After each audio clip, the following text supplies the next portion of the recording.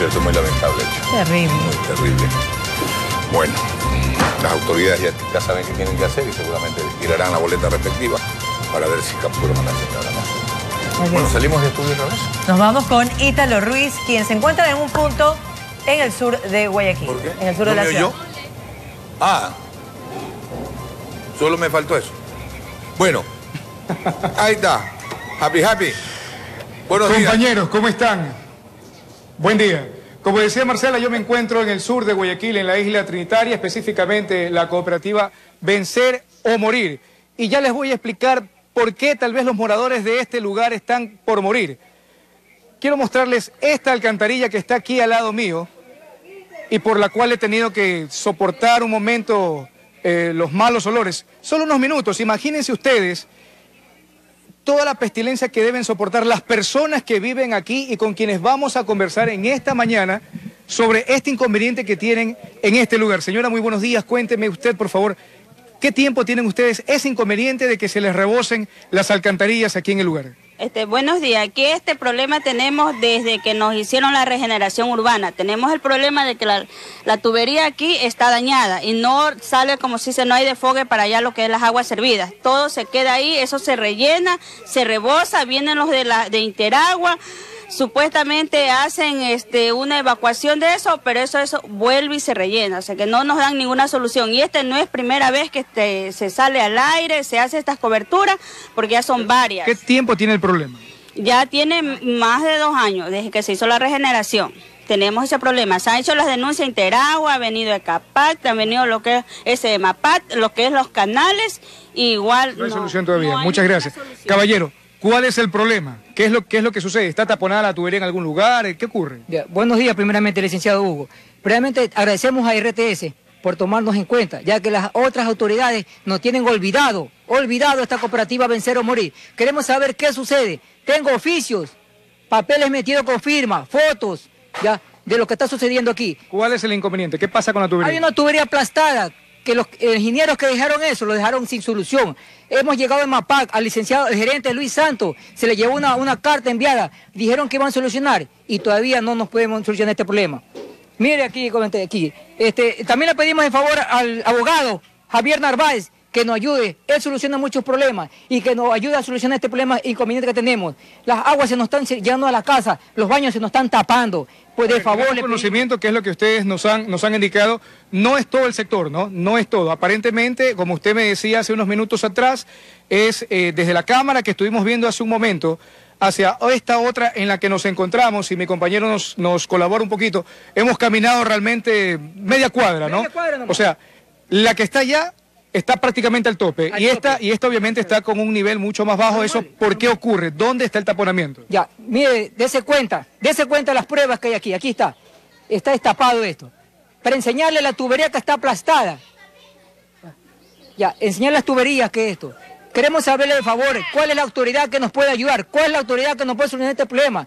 Ya la gente no sabe qué hacer con las pestilencias que hay. Esta cámara, pues obviamente recibe las aguas servidas de, este otro sector, ¿no? este Este, otro este otro barrio que está acá. Exactamente, correcto. En el barrio de ustedes, ¿cuántas son más o menos las familias o las viviendas que tienen el inconveniente de que eh, se les rebosa por dentro, incluso eh, las aguas servidas se les regresan por, eh, por el, la tubería donde va el desfogue de la ducha? ¿Cuántas son las perjudicadas? Es una cuadra L. Son manzanas 6, 7 y 8. Una cuadra L. Ya. Pero usted se cuenta que aquí está destapado. Esta es la prueba de diente. Y allá, en la cuadra de nosotros, está al tope el agua. Y las autoridades hemos metido, como le digo, y vuelvo a repetir al licenciado, están las cartas al señor gerente Luis Santos. Se le mandó. Nos mandó un, ing- un ingeniero a tomar fotos nada más, más de un mes. Y esto tiene más de ¿Qué es lo que habría que hacer aquí de pronto? ¿Romper la calle? Solamente eso es una solución tan, de- tan fácil que Interagua se hace de los, de los oídos sordos, señor. Se hace oro, porque el gerente Luis Santos le mandó correo a Interagua. Interagua... No hay, no hay respuesta todavía. Bueno, esperemos que haya una respuesta bastante pronta. Señora, buenos días. Cuénteme, cuénteme un poquito, por favor. Venga para acá.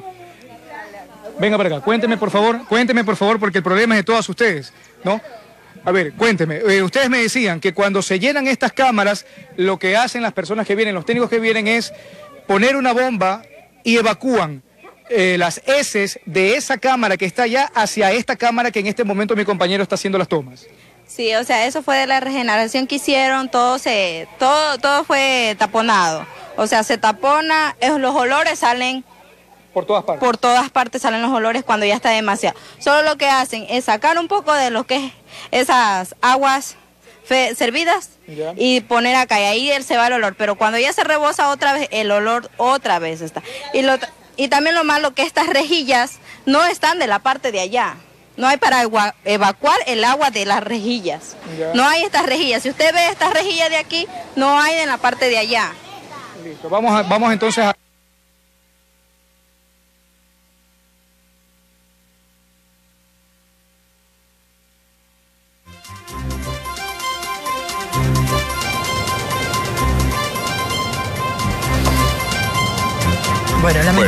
situación que afrontan en ese sector, en todo caso más adelante. Terrible esa situación ahí y, parece que es en medio, que hay alguna tubería aplastada que no permite... Obstruida. Eh, exactamente, obstruida y no permite pues el paso de las aguas servidas, que es cochinada. Y, con las lluvias eso se va a agravar. Se va a agravar, así es. Se va a agravar, así que esperamos respuesta inmediata. Volveremos a conversar con Ítalo enseguida para conocer más detalles referentes a este tema, ¿no? Vamos con otra nota. Así es, ahora les contamos que tras mostrar en nuestros informativos el pedido de ayuda para un adolescente que consume la droga conocida como la H, el Ministerio de Salud Pública acogió esta solicitud. El joven recibirá tratamiento ambulatorio antes de internarlo para proceder a su desintoxicación. Veamos. De verdad que estoy tan feliz, contenta, le doy gracias a Dios porque Dios ha tocado sus corazones para que puedan ayudar, ayudar manera. Mercedes respira un poco más aliviada, una vez que recibió la ayuda que le urgía desde hace algún tiempo para su hijo, quien vive en este mundo pero en otra realidad, debido al consumo de la dañina H. Un dolor tan grande para mí, porque yo nunca me pensé que mis hijos llegarían a hacer alguno de ellos consumir aquella, aquella sustancia. ¿no? Este martes, una brigada de la zona 8 del Ministerio de Salud Pública acudió a la casa de Mercedes en respuesta a su clamor para evaluar las condiciones del mayor de sus vástagos que ya se le había descarriado. Dice, refiere de que ya tiene cerca de una semana de, sin, sin consumir, pero bueno, tiene ciertos signos de, de deshidratación, entonces por eso se decidió ponerle una venoclisis para este, hidratarlo. El jovencito presentaba claros síntomas de deshidratación y malestar general debido al consumo de la ilícita sustancia, esa que pone a volar a algunos pero que tarde o temprano los estrella de cara contra el mundo. Presenta la motivación para ingresar al proceso, al programa ambulatorio.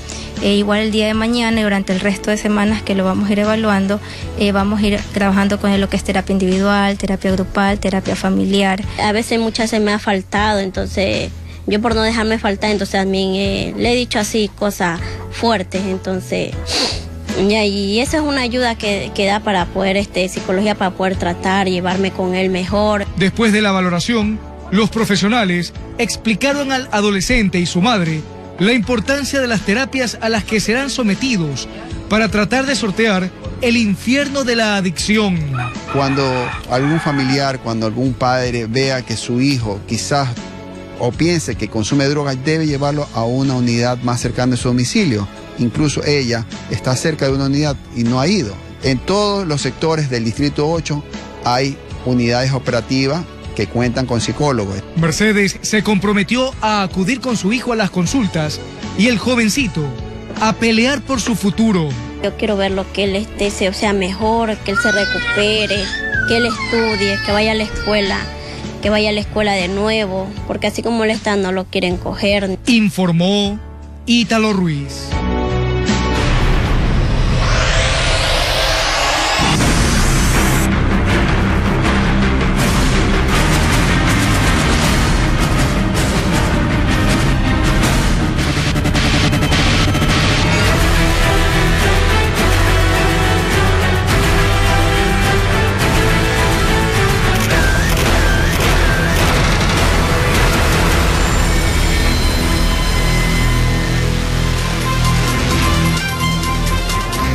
A continuación nuestro espacio de denuncias Ojo Público. Nuestros televidentes amigos nos escriben.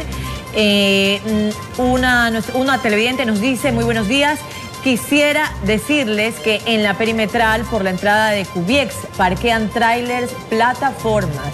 Wendy Sea nos escribe comentándonos esta situación. Y dice, y ya han habido varios accidentes.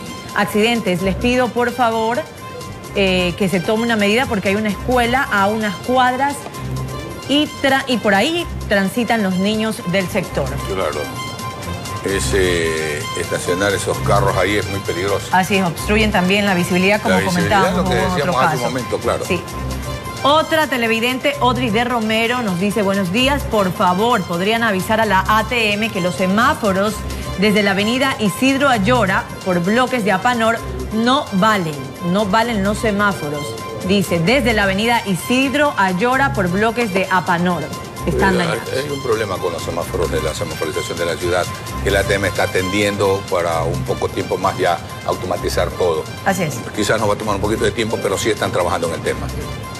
¿Qué es eso? Ah? Y también Javier, no alcanzo a leer el mundialista, Javier Mundialista. Javier Mundialista, dice, ¿no? Dice, miren, don Hugo, cómo le hace a esta llanta para pasar la revisión.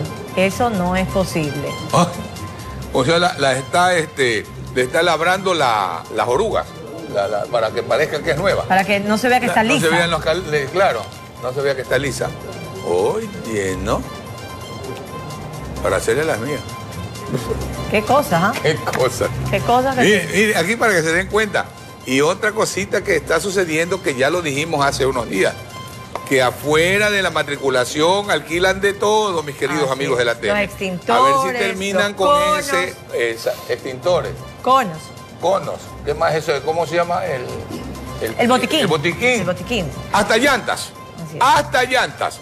Ahí pero afuera. Eso está a la vista de todo. Está, está pero la entrada, Marcelita. No se toma ninguna medida. Está a la entrada de la TM. Y es el más grande descaro. Porque justo a la entrada donde a uno le van a revisar el carro y que se supone que usted debe tener el extintor, el, el cono, el, botiquín, las llantas buenas y todo, hasta las llantas se las alquilan.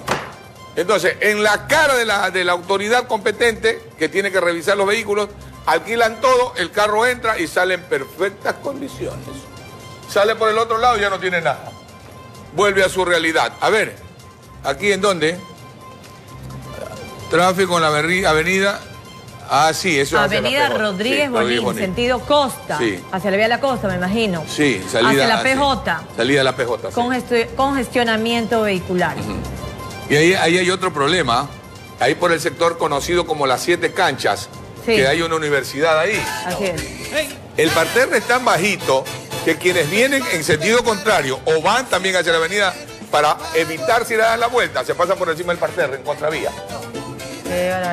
Bueno, no se olvide de escribirnos. ¿A qué direcciones, Marcelito? Bueno, ya saben que tenemos pónganle las direcciones, pónganle las direcciones. Comunidad arroba, ahí está, arroba RTS guion bajo la noticia, comunidad arroba rts.com.es. Escríbanos. Ya volvemos. Batalla campal entre policías y comerciantes. Descubra dónde y cómo ocurrió el enfrentamiento. A tal punto llegaron los disturbios que los gendarmes tuvieron que usar gases lacrimógenos.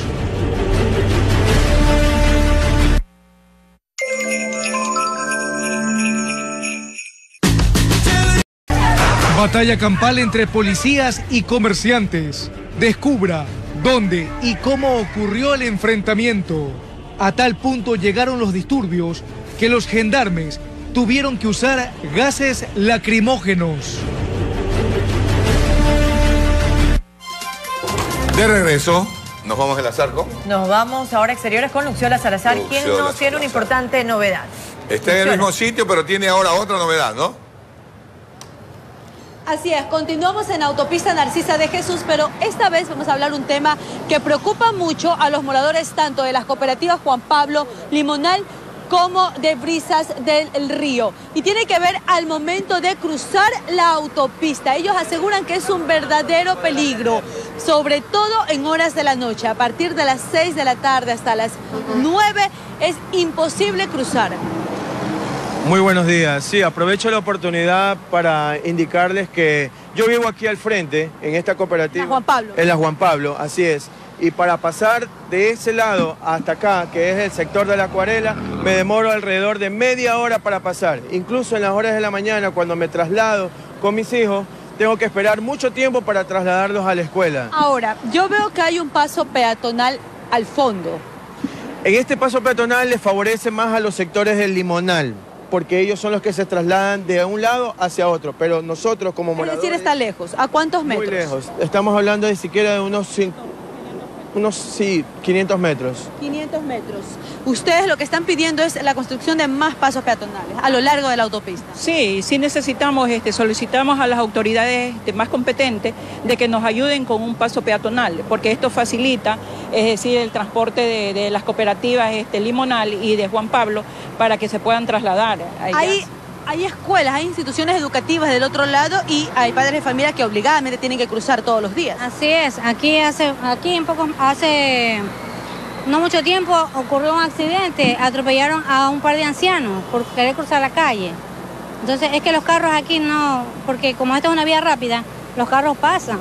Y aquí a pocos metros hay un colegio y nosotros podemos percatarnos de cómo los niños sortean su vida para poder cruzar la calle de un lado a otro. Ahora, lo que ustedes mencionaban hace un rato, antes de salir al aire, es que a diferencia de una avenida, en una avenida eh, ya está determinado cada cuántos metros tiene que haber un paso peatonal, pero esto es eh, más peligroso que una avenida, estamos hablando de una autopista y por lo tanto, según ustedes, debería haber mucho, eh, debería ser más este, mínima la cantidad entre paso peatonal.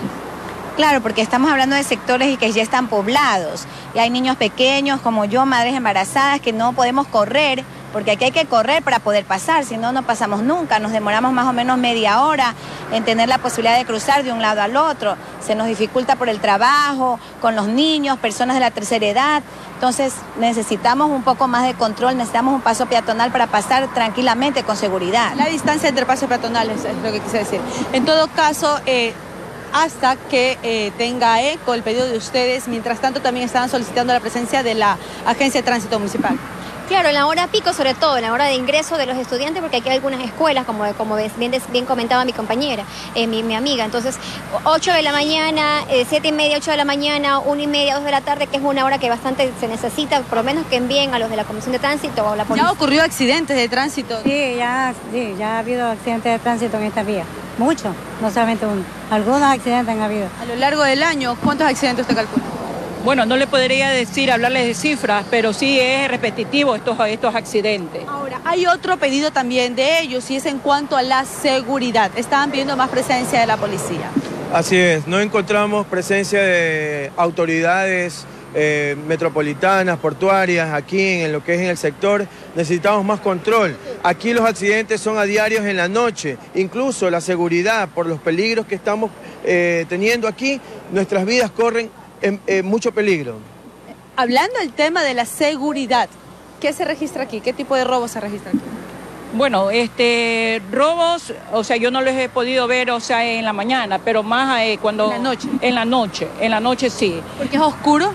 Sí. En el área de la acuarela, ¿no? Sí, tengo entendido que aquí hay una escuela, pues, y tienen eventos y se nos han comunicado en muchas ocasiones que les rompen, como se dice, lo- los cristales de, la, de, de las ventanas, de los autos y, y han robado. Eso se nos han informado. Estamos con el subteniente Patricio Chamorro. Justamente él está aquí para atender el pedido de la comunidad. Ellos están pidiendo más resguardo policial. ¿Cuál es la respuesta de usted? Obviamente, como nosotros como Policía Nacional siempre estamos prestos, pero es necesario que ellos nos den nuestra queja. Nosotros estamos ubicados aquí en, el UPC de Brisas del Río, es donde les recogemos todas sus quejas para darles una solución pronta. Asimismo me indica que son moradores de acá de Limonal. Yo conozco a bastantes líderes barriales de Limonal y de la Juan Pablo. Eh, no he tenido la oportunidad de conocer a los moradores de aquí, pero siempre estamos en un trabajo constante. Se ha hecho asambleas comunitarias, se ha dado los servicios que brindamos la policía, lo que es botón de seguridad, lo de que es encargo de domicilio. Entonces yo creo que es una falta de coordinación entre, con- de ustedes para conocer un poco los servicios de la policía y, sobre todo que estamos prestos para colaborarles y ayudarles en todos sus requerimientos. En todo caso, a partir de ahora va a haber un cruce de información, va, va a haber una comunicación ahora entre moradores y policía. Falta ahora también la respuesta de las autoridades de tránsito ante el requerimiento de ellos. Están solicitando más pasos peatonales a lo largo de la autopista. Al ser una vía rápida, obviamente es muy peligroso para ellos cruzar. Es necesario cruzar también para ellos. Eh, hay, una, hay escuelas, hay padres de familias que todos los días deben de dejar y, y recoger a sus hijos de la escuela y por ello están eh, solicitando esto, la, la construcción de más pasos peatonales o la presencia de los agentes de la ATM. Esa es la información entonces hasta el momento y regresamos con usted, Hugo. Bueno, Luxiola, muchas gracias por la información brindada, ¿no? Eh, esperemos que se ponga a- atención a, la- a los solicitados. Comentábamos con Un justo Marcelita. pedido. que- que creo que es un justo pedido, nosotros consideramos, porque si bien es cierto, mi querida Luxiola, hay dos pasos elevados. Y también es cierto que tampoco se puede decir cada dos cuadras pongamos un paso elevado. Pero no puede tampoco ser No, que estén a tal distancia que sea incómodo movilizarse. Agregado a ello, decía Marcelita, o decía yo, que la delincuencia aprovecha todo movimiento, ¿no? Entonces es justo en vista de que están demasiado distantes el uno del otro paso elevado. Y hay muchísimo, ese sector es muy populoso. Es muy populoso Y es una vía súper grande, la, Claro. la Narcisa de Jesús, Es una vía- grande y que es- yo creo ah, que se amerita. Eh, creo que tiene Paso. 10 carriles, por Marcelo. Sí. Creo que tiene 10 carriles. Es la característica de una autopista, exactamente. Claro, una autopista, es una A autopista, ¿no? diferencia de una avenida convencional.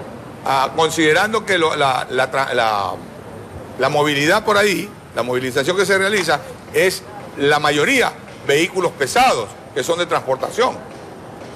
Así es. Bueno, Yo escuchaba a alguien que decía, no, pero en las autopistas de otras partes del mundo no hay pasos, es ¿Cómo para el no carro. Pero, ah, pero esta es otra realidad, pues acá No, hay, no. hay, hay ya cooperativas de vivienda, pues en otros lados tal vez no. vemos. No, no hay porque son lugares de- despampados, que Exacto. no, o tienen otras entradas, por ejemplo, negocios grandes como Exacto, moles y eso. exacto. Pero acá es, de- es vivienda, pues. Claro Hay que no habitantes. hay. A no ser que sea en otros lugares del mundo, la verdad, medio raro. pues. Eh, extraterrestres. Ah, eh, extraterrestres, porque habiendo eh, este, perdón, viviendas como en este Hay caso, asentamientos se hace necesario, se hace es necesario. necesario. Un sector tan populoso. Bueno, Gracias, gracias mi querida Luxiola, ¿ah? muchas gracias. Vamos con otra información. Muy buen día. Buenos días. Batalla campal entre policías y comerciantes. Todo ocurrió cuando los vendedores pretendían evitar la detención de dos presuntos delincuentes. A tal punto llegaron los disturbios que los gendarmes tuvieron que usar gases lacrimógenos. Tenemos un informe elaborado por Felipe Parra de ATV desde Perú, afiliado a la red de noticias Albavisión.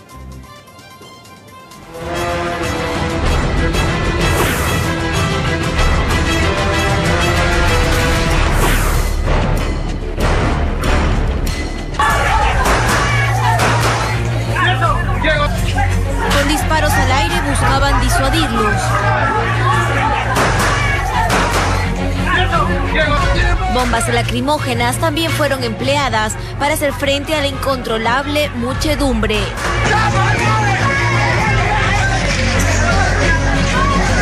¡Hay niños! ¡Hay niños!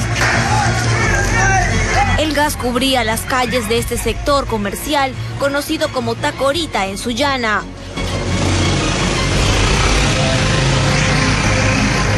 Los más afectados, los niños. Varios presentaron síntomas de asfixia por lo que fueron socorridos. A algunos les echaron agua para que reaccionaran.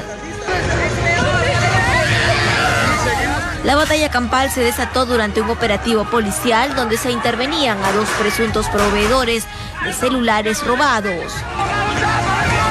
Varios comerciantes salieron en su defensa al considerar que la intervención era irregular.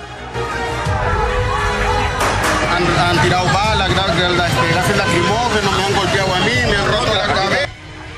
A pesar de la tenaz oposición, la policía logró trasladar a los intervenidos a la comisaría de la zona para las investigaciones.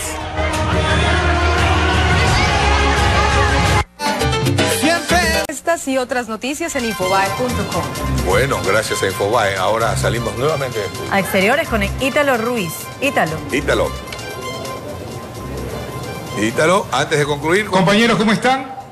Ya pudimos solucionar el problema que tuvimos hace instantes con el audio. Bueno, les decía, yo continúo acá en la isla Trinitaria en la cooperativa Vencer o Morir, donde los habitantes de este sector en el que nos encontramos realmente están pasando por un problema que hace rato están necesitando que las autoridades pertinentes pues se hagan cargo y pues les den una solución. ¿Cuál es el problema? El rebose de las alcantarillas, el rebose del sistema de drenaje que tienen ellos aquí desde hace algunos meses, señalan, cuando se hizo la instalación. Pero esto se debe a qué? Dicen los moradores que eh, cuando se estuvo terminando el trabajo hubo una tubería que quedó eh, apretada, ¿no? Aplastada y que eso pues de pronto fue lo que estranguló el paso de las aguas servidas. Señor, buenos días. Cuéntenos un poco acerca del problema. Eso así como usted dice, que cuando hicieron esta renovación dejaron aplastada una tubería ahí. ¿Y qué es lo que pasa? Que de ahí para acá viene el problema. Ya eso va a ser como dos años, ¿no? De ahí tenemos que no, la pestilencia, las cantarillas rebosadas como usted mismo lo está viendo ahí. ¿Dentro de sus viviendas tienen el inconveniente también? Hay un de la vecina, todo, están tapadas, ya uno no se puede, tiene que bañarse afuera, porque no podemos bañarlo ya, por ejemplo, en la ducha, porque el, agua pues, no corre. ¿El agua servida sale de la tubería de ahí mismo de su casa? Sale de la tubería. Yo iba allá en la esquina, tuve que hacer por ahí destaparme ya la cantaría para que, para que salga un poco ya el agua, porque ya, ya, ya no aguantamos la pestilencia. Peor, mire, que ya estábamos al principio De los oficios que ustedes han enviado a, a, a ECAPAC, a, Interagua, cuando ellos han venido, básicamente, ¿qué es lo que se ha hecho? Me decían hace un momento que lo que hacían era un poco que trasladaban las heces de una cámara a otra. Eh, así, mandan ese, el carro ese de, tanque, viene, pone una manguera allá a la, ¿cómo se llama?